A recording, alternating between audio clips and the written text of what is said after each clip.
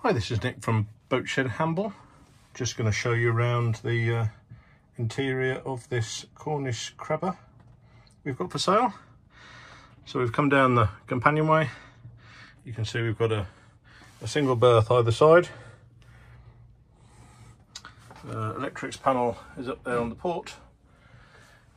And then at the bow, you've got uh, a sort of a chart table area along with your sink and your single burner and some uh, storage under the hatch there clock and barometer.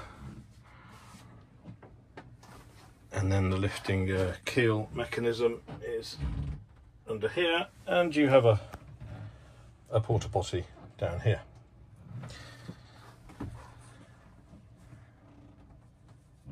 So that's the uh, Cornish crabber Cornish shrimper that we have for sale 19 for um, Boatshed Hamble. There's plenty more photos, videos and 360 degree images on the website.